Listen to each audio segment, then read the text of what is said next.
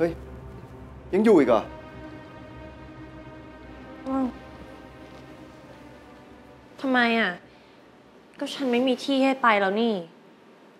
ก็ไปอยู่กับป้าคุณสิ จะให้ฉันไม่อยู่กับป้า ฉันยอมนอนข้างถนนยังจะดีสักกว่า โอ้ยนี่คุณจะไปอยู่ที่ไหนก็ได้นะ แต่คุณอยู่ที่นี่ไม่ได้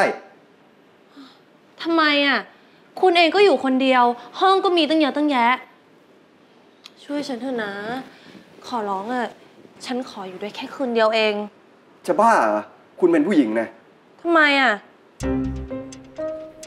กลัวฉันปั้มเหรอ หรือว่า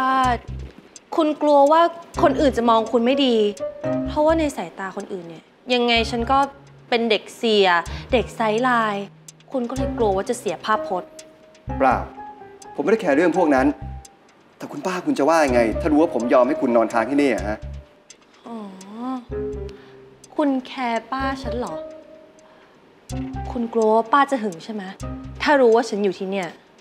ผมว่าคุณกลับกรุงเทพทำอย่างที่คุณควรจะทำแต่วันแรกดีกว่านะเพราะกรุงเทพมันน่าเบื่อ อยู่ที่เนี่ยมีอะไรให้ทำตั้งเยอะตั้งแยะ สนุกด้วย สนุกเหรอะนี่ อย่างนี้คุณเรียกว่าสนุกเหรอ ก็สนุกสิ ก่อนที่คุณจะโดนต่อยไง ตกลงเนี่ย จะให้ฉันนอนห้องไหนอะตกลงจะไม่ไปใช่ไหม ห้องคุณนะ ห้องนอนแขกอยู่นู่น ไปสิ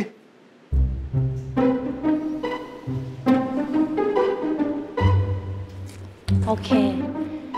ฉันไม่รบกวนคุณแล้วก็ได้ สบายใจนะ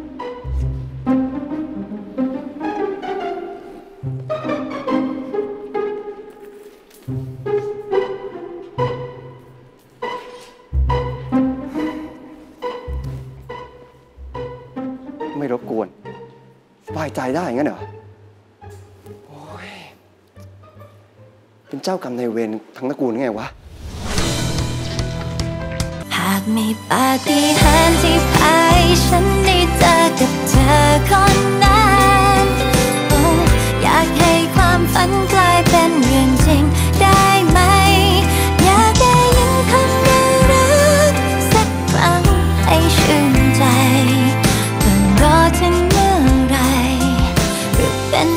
แค่เพียงฝันไอ